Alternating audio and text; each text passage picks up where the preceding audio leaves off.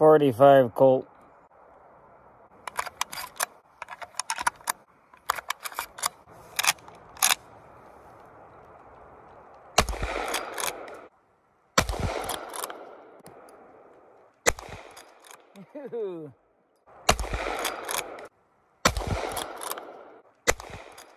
Brought the stainless steel 45 Colt out.